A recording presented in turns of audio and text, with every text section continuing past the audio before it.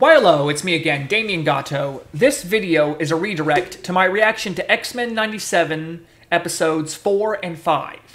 So if you'd like to see my full reaction to those episodes, feel free to go to the link down in the description down below. We'll take you right to the reaction and review. So I hope you all enjoy it as much as I did reacting to it. And I hope you have a nice finished day, and hope you all take care and still stay glassy.